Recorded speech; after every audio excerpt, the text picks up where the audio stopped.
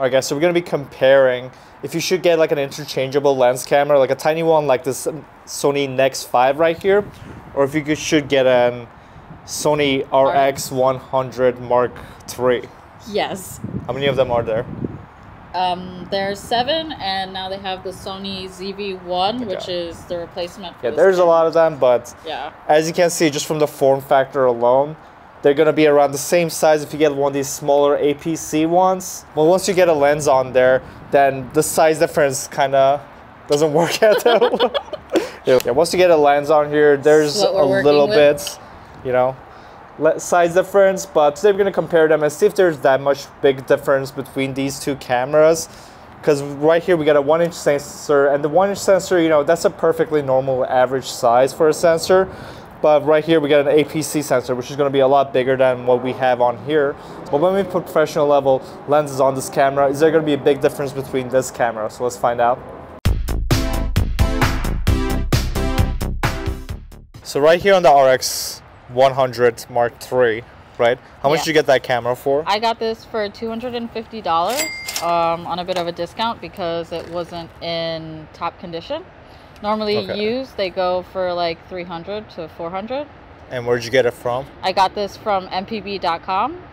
Um, you mean Amazon, yeah, where I can get Yeah, influence yeah. and I can get money from it. Okay. Amazon. Yeah, she got it from Amazon. Make sure to use my link below to get yourself one of these cameras or Yeah. lenses.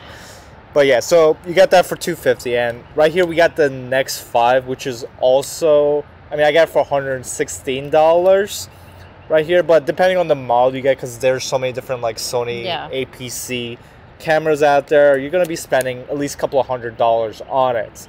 Now with this camera, since this one already comes with a lens, uh, which kind of lens is it? Um, so this is a Zeiss lens. It's a 24 to 70 millimeter um, with a variable aperture of 1.8 to 2.8 on the far end. Um, pretty sharp. It's good enough lens. Yeah. Well, Zeiss lenses are a scam. I do not believe in them. I think Zeiss is a fraudulent company. I don't like that. Fuck Zeiss. They make good lenses. One thing I will say, the Zeiss Sony Yeah. lenses look really cool. They do, yeah. Like they're They beautifully like designed They are. lenses, but they're just so overpriced. They are. I agree. Like it was like two thousand dollars for like an f four, like like twenty eight millimeter or Yeah. some bullshit. Like it's ridiculous. So right here we have a Tamron lens, which Tamron is one of my favorite companies just because of you get really good high quality glass with it. So the image quality you're gonna get out of the lenses are gonna be great. But it's it's it just comes in like a cheaper like case and like as you can see like this one's like really beat up, but but still it's very affordable. You can get this lens used I want to say for around like and this is a 28 to 75 millimeter 2.8. That's what, what was it 24 to 70? 24 to 70, yeah. It's a 1.8 to 2.8, which is kind of true. Like it's technically is, but like on a one inch One-inch sensor, sensor, it's yeah. gonna be like a more close to like an f4. Now on an APC sensor, this is gonna be a 20 to 75, so it's gonna be like what is it like like 32 to 100 f4 kind of lens. So you know, I mean, it's good, but we're gonna be doing comparison. And this lens, if you want to get it for, it's gonna be like five, six hundred dollars. So this might be a setup closer to like a thousand, while this might be like two, three hundred dollars. So depending on what you want to do, it's gonna be you know very and your different. budget, you know, like Yeah, because this one will fit in your pocket, and Yeah. this is.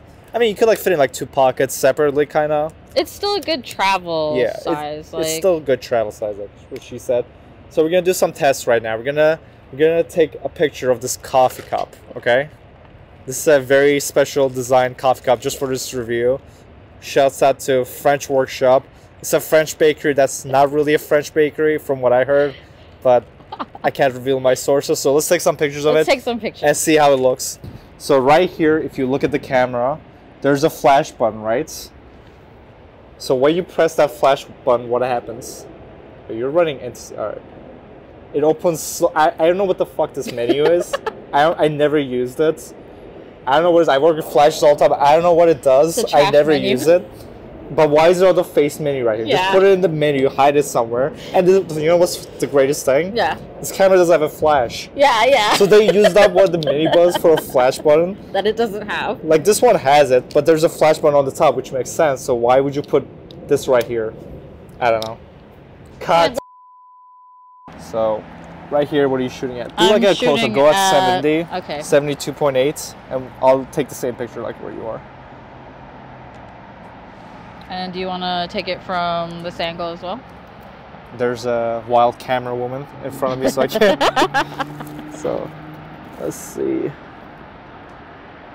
It's like I to change the ISO on here. I have to go to the.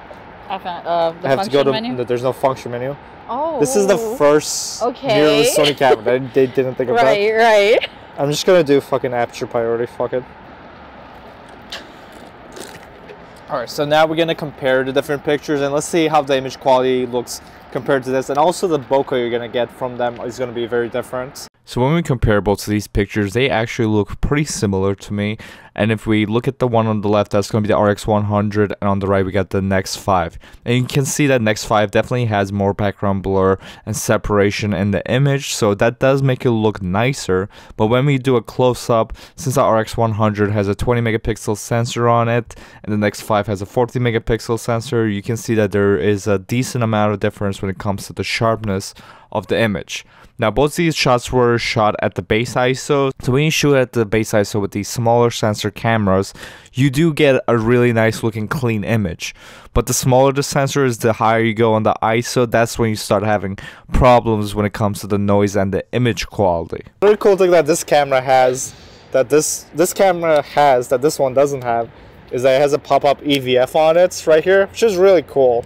Now, do all of the RX 100 models have this? They do. Um, actually, the first RX 100 and the Mark II might not have it, but starting with this line, they started including the uh, pop-up uh, Yeah. electronic and that's very important especially if you're just doing like if you're just walking around taking pictures on like a sunny day like it's almost impossible to see out of these like horrible screens that sony puts on these cameras. Even if you buy like an a1 or something like these $6000 cameras Yeah.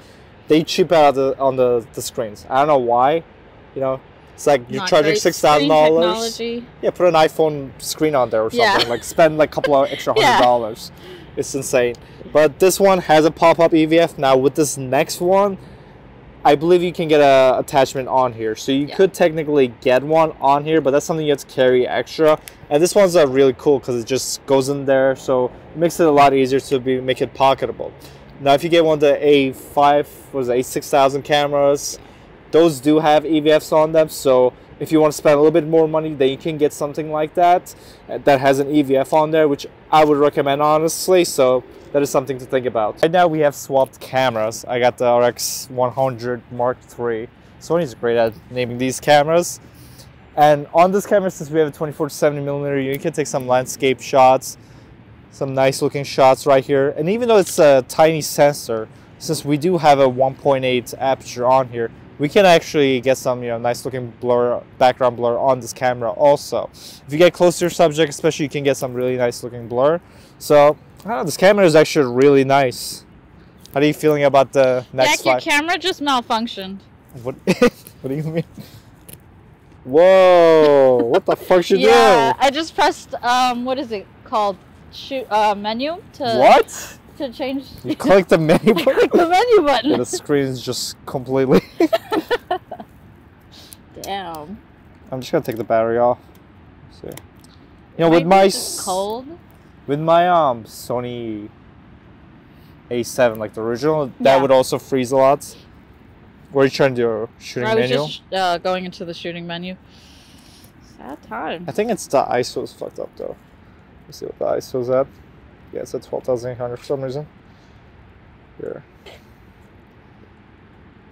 You can change the ISO, but it's like you have to go to the menu, brightness, color, and Oh my ISO. god. Yeah, this I- is like this ancient Sony menu. This is the kind of menu I had on my camera Yeah, but at least growing at least you have a flash button on the camera that doesn't have a flash on it. You could yeah, I set to like 800 Okay, or cool. something. So you can take some pictures with. it. But think about this set, you're limited to the 24 to 70 millimeter, which might be fine if that's all you want. But the cool thing about this camera is that you can change to, you know, you, since it has a Sony E mount on there, you have like literally hundreds of options of lenses that you can use on there. Like right now, we have a 24 to 70 millimeter lens, but we can swap it over to 7200, or we can go even like a 600 millimeter lens and do wildlife with it. So I don't know.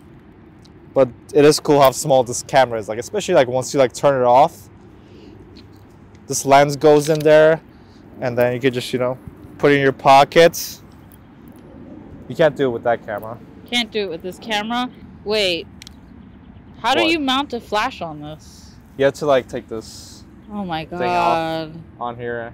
I don't know. It's the older Sony system.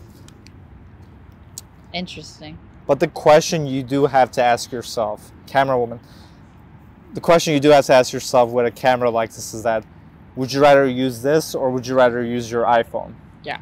You know, because if you're just shooting like wide shots, the iPhone can do it too. Like, I don't know. That's the problem with like this type of cameras, I guess, is that like the iPhone kind of covers yeah, a lot of and bearing in mind it. like the age of this camera, like iPhone technology now, the sensor is good enough that you can get really decent pictures out of an iPhone oh, camera Right. at this especially point. with like the what is it called like how the computer of it like handles the pictures Yeah, yeah.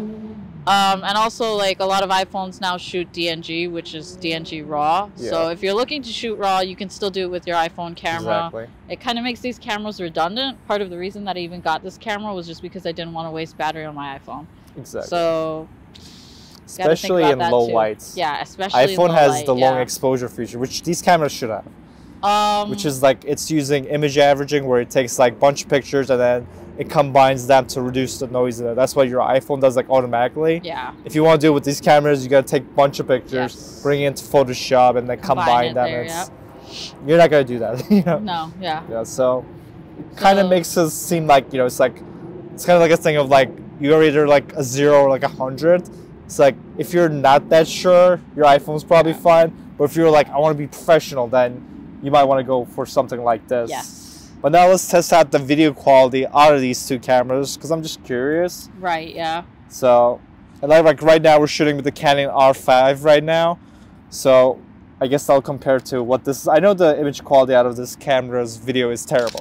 If you get the newer Sony cameras, obviously they have great video image quality, but the older ones don't really have it. So let's see how that looks. Okay, go.